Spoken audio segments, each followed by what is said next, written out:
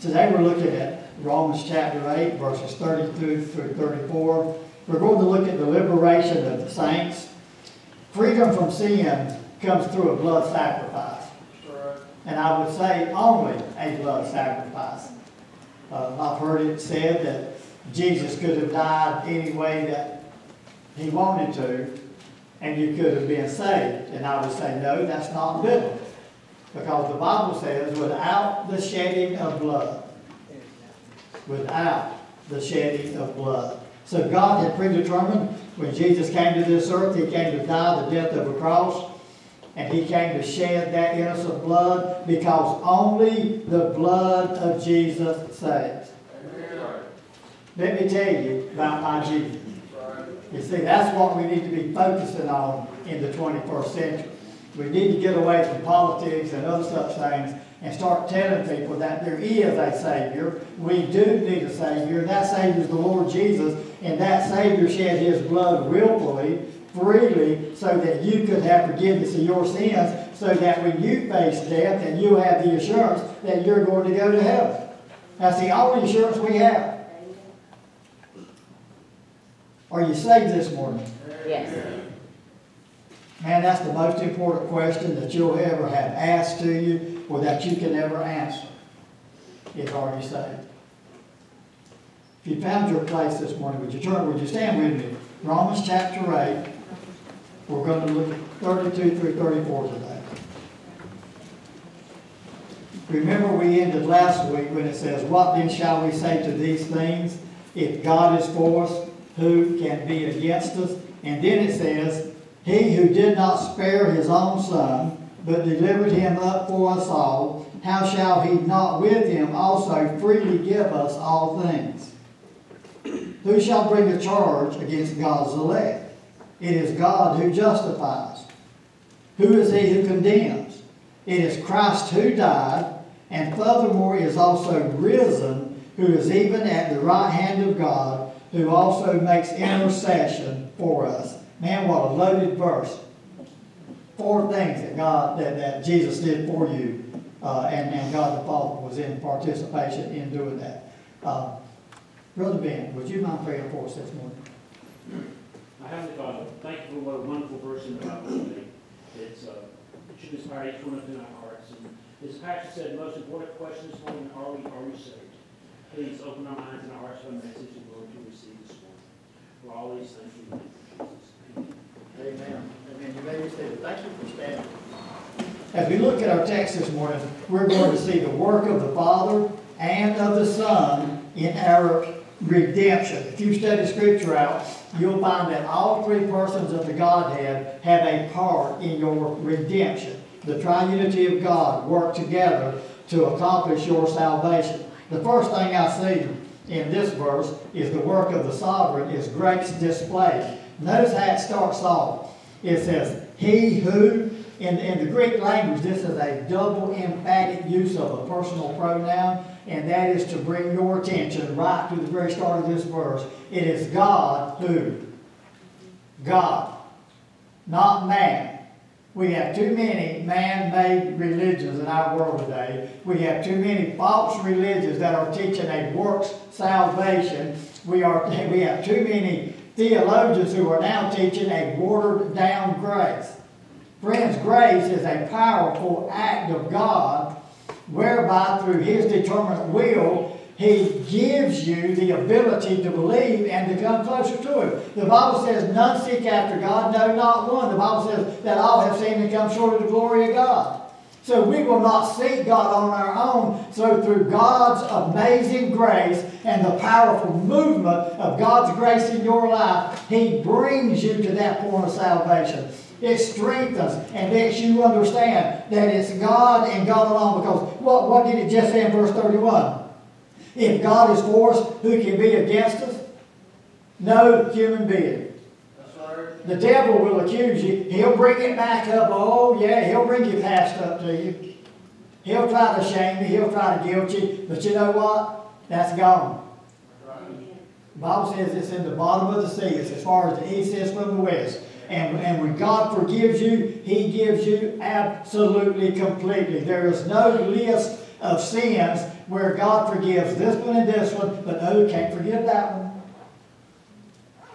And see, if you've been raised in the Baptist church any period of time, you know that we as Baptists used to have a list. God could forgive this sin and that sin and that sin, but oh man, when it came to certain sins in the church, no, couldn't do that. Man-made legalism, may I say to you. It is God, He, who served to draw your attention, who did not what? Spare His own Son.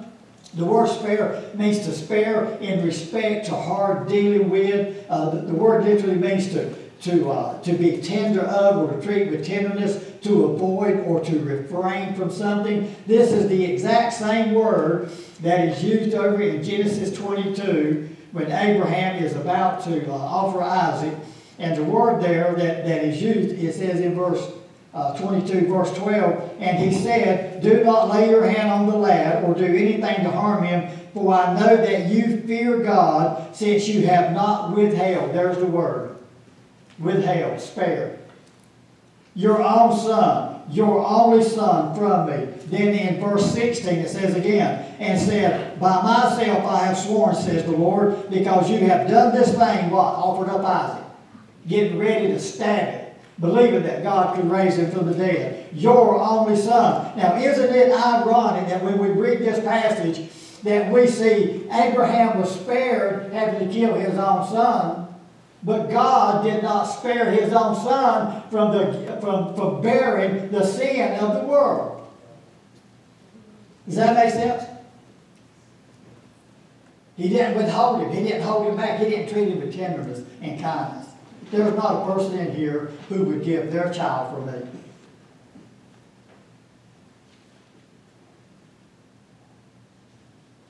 Not a person in this place would die for somebody else. But God said that His Son would come to this earth with the intention of dying on the cross for you and I. Man, what a powerful concept that is. Second, look at the gift delivered. It said delivered up to give it to the power of someone or to give over uh, to someone else. Uh, it represents the Father's participation in the sacrifice of the Lord Jesus Christ.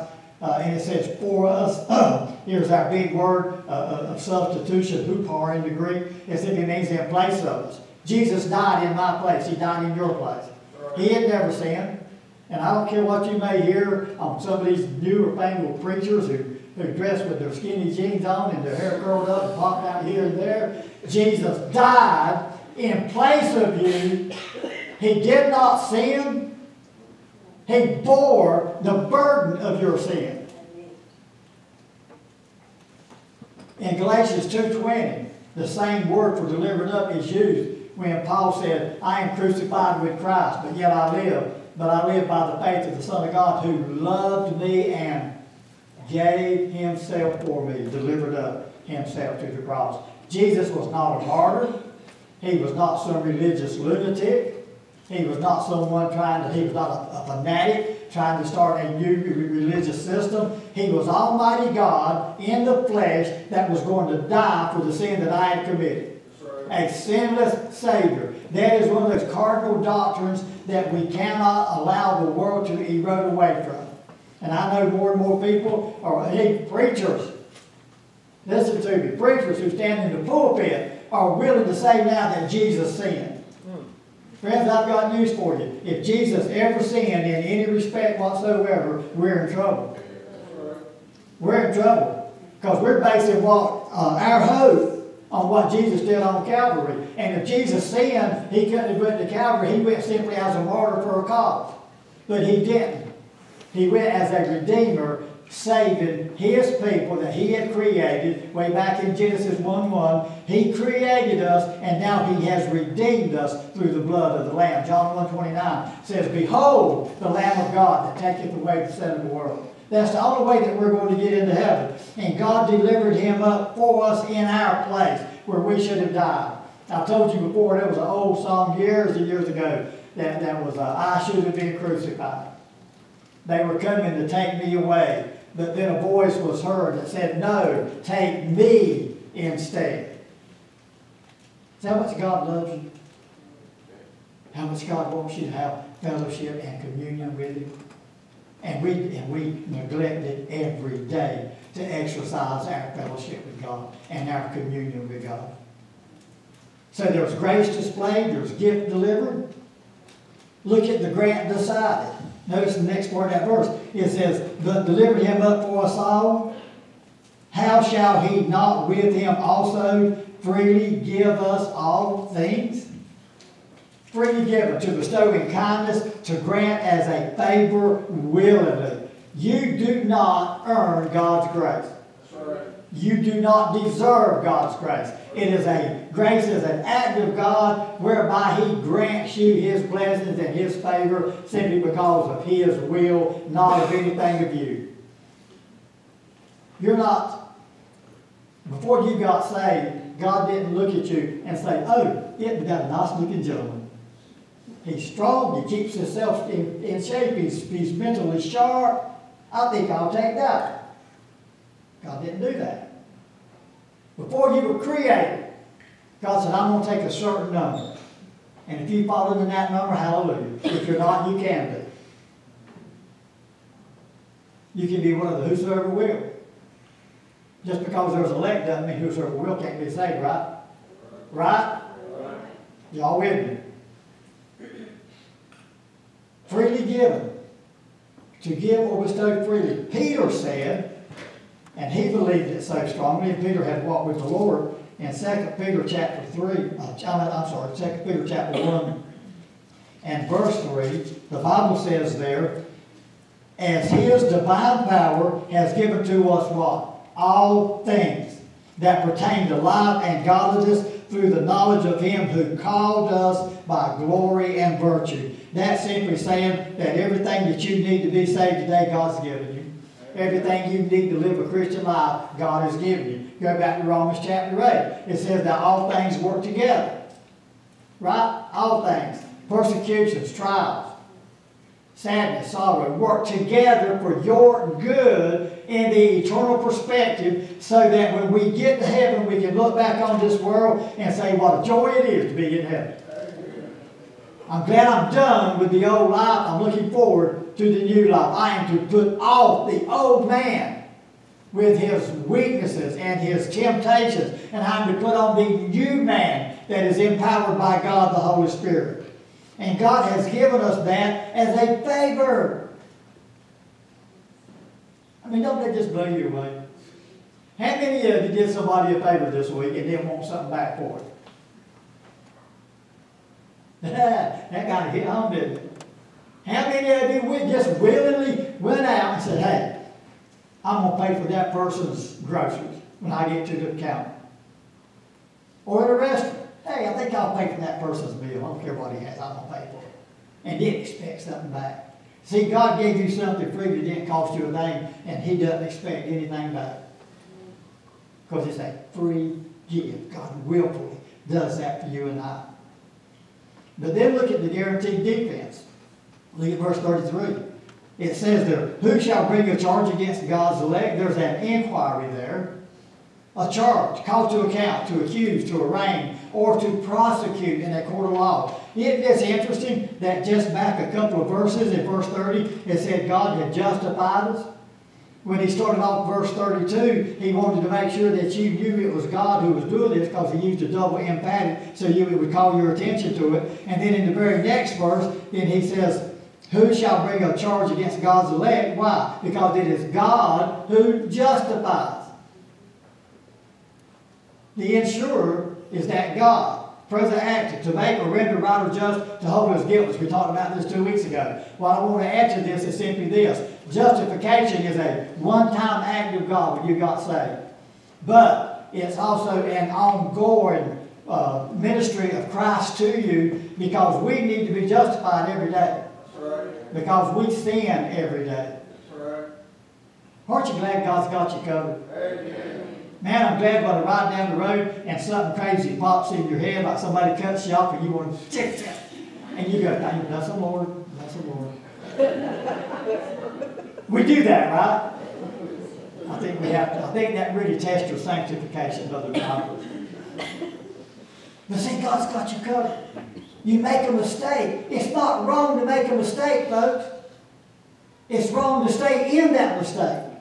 It's wrong not to confess it and get it right with God and, and refresh that fellowship and that communion that we have with God. Because God loves you so much, God gave you that right.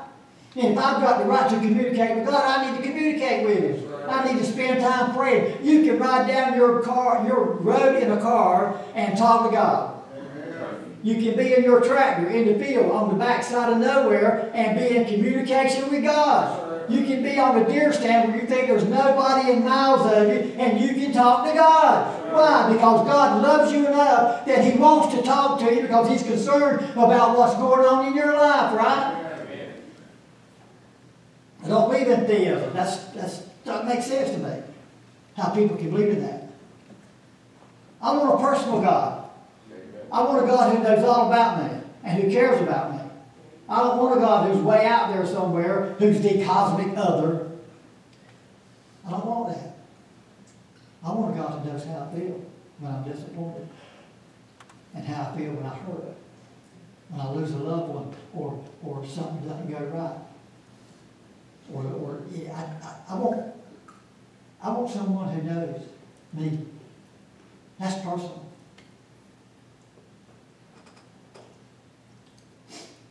Now let's look at the work of the Son. I told you the other week there's four works of God, four works of the Son, and four works of the Holy Spirit that cannot be undone in your salvation. Any theology that you read book will, will give you those basic four things. So let's look at the work of the Son. I thought this verse was so important that we could have spent a, a pretty good time on it, but we're just going to spend just, just a few minutes here looking at it. Look at the price demanded in verse 34. It says, who, okay, let me go back for a minute. When it says God has justified you, why would God justify you and then withhold something from you? That makes sense? Doesn't, does it? So because did not because God did not spare his own son and he justified you through what the son done, then God is willing to do everything for you that you need every single day. That's why everything is important to God. Not the big things so much as the itty bitty things. See, God doesn't always speak in a miraculous voice. A lot of times, God speaks in that still, quiet moment. When you're alone with Him, in your prayer closet, on your knees, on the floor, in front of your desk. That's when God speaks to you. First of all, look at verse 34. Who is he who condemns? Well, the answer there is nobody. Present active tense, continuing thing. To pronounce sentence, to give judgment against. Who can judge you? God's already justified you. Because He's given you everything that you need to grow spiritually and to live a spiritual life in this world. Uh, the,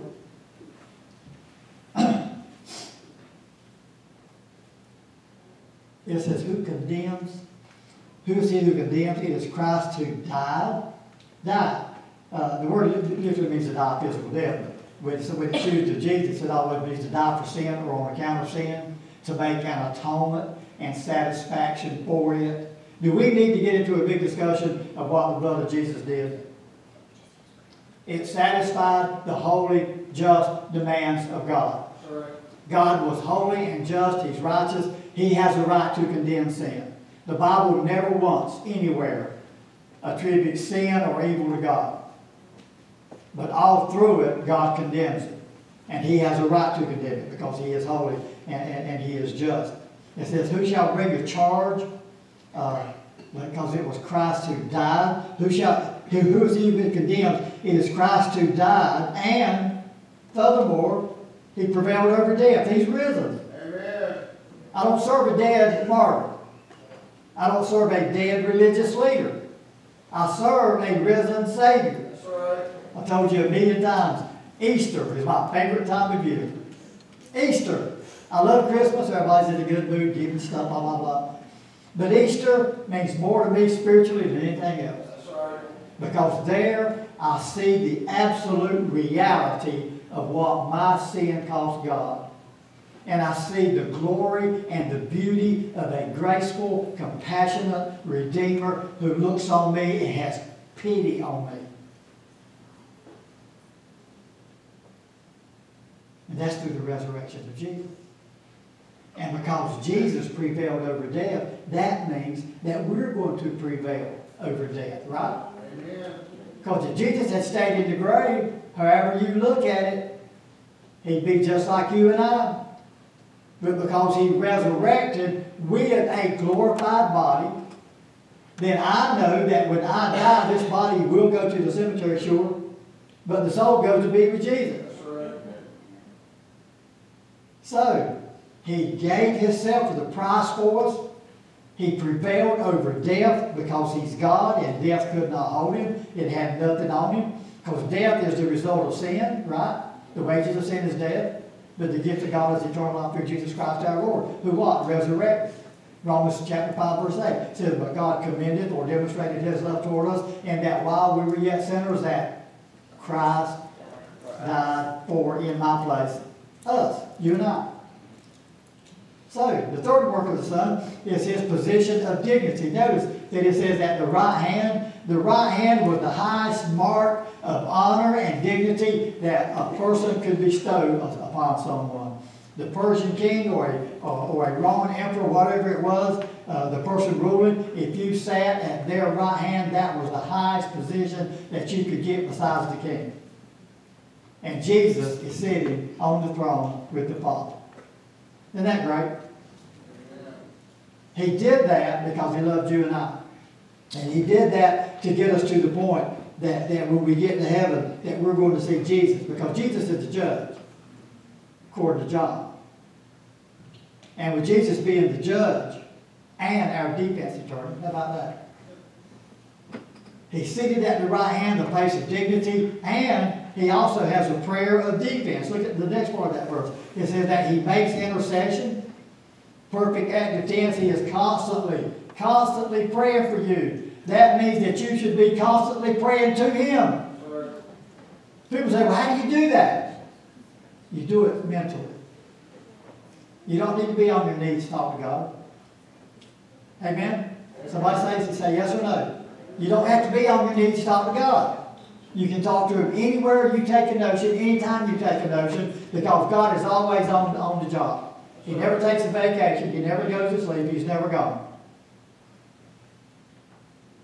The intercession simply means to plead the cause or case of someone. It, it interesting that back in verse 26, it says, Likewise, the Spirit also helps in our weaknesses, for we do not know how to pray uh, as we should ought, but the Spirit Himself makes intercession 1 John 1 2 says that we have an advocate, which is the Lord Jesus Christ, our defender. So who's going to condemn us? Why would Jesus give his life for us and then turn around and condemn us? What would he be in essence saying? What would God in essence be saying if he judged you and, and, uh, and brought a charge against you? He'd literally be saying that my blood sacrifice was no good. That you still got sin on you. You still living in, in a worldly manner. But when he accepted the blood atonement of Jesus, and he did that by raising him up out of that grave, when he accepted him, that means everybody that believes in the Lord Jesus is justified at one time with a continuing result. And that means that when you stand before God, God does not see you as you are, he sees you as he wants you to be. And that is sinless. Doesn't it say in Ephesians that God is preparing his bride as a, as a bride without spot or blemish? Isn't it great? That when I get to heaven, God's going to look at me and he's going to say, I knew you were coming. He's not going to say that. I'm just kidding. he knows I'm going to be there. And we're going to be there. And see, when you get to heaven and you're going to look back on your life, if we do that, who knows whether we do or not. I mean, some people say, you know, oh, I'm on blah, blah, blah. That's, you don't know that. Why would I say that? What you can say is when you get to heaven, that you're gonna be around the throne of God, and the twenty-four elders that's already there, and the four living creatures, you're going to be able to pr- praise and worship God day and night. That's good stuff. I don't know what it's gonna consist of, but it's better than going to work in the morning. It's going to be great. And what does this all come down to? This is talking about assurance and security. Next week, we're going to get into the last part of this, maybe make two sermons out of it, there's a lot of stuff there. But what I'm, what I'm talking about, this whole chapter started off with what? There is no- therefore now no judgment, no condemnation to those who are in Christ Jesus. Twice he's already told you that he's justified you. Twice he's already said that you've got an advocate and, and, an, uh, uh, and, an intercessor that is praying for you. So with all of that stacked up, he, Paul's like he's in a courtroom and he's building his case. He started off giving his propositional statement, there's no condemnation. Why, Paul? Obvious question. And then he starts to tell you. And he starts to build his case and build his case and build his case. And what Paul is wanting you to do is to get more and more confident of your standing with God. Because you can't live a happy, you can't have joy if you're afraid of God. Amen, preacher, that's right. You cannot be joy and enjoy your life and be afraid that you're going to die and go to hell. But when you know that God loves you enough and He has given you all of this evidence stacked up on top of each other, and Paul's trying to close this thing out now, then he's going to move on to Israel, right? And God's sovereignty over Israel. And right now he's trying to say there's a new people of God, that's you believers, and because you are who you are, because God made you who you are, then He's given you all of this evidence that you can live life in a sin cursed world and have joy in your heart and be content, whatever the, the case may be. Again, that's how much God loves you. I'm going to ask you again are you saved this morning? Amen. Ask you another hard question. I get in trouble with it. Are you serving God? Are you serving God with the gifts that He gave you, with the talents that He's given you? Are you a Sunday Christian or are you an everyday Christian? Are you making a difference in the world where you live?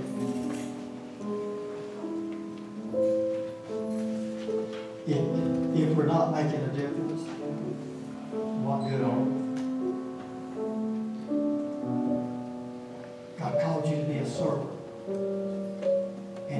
Saved this morning, God wants you to serve.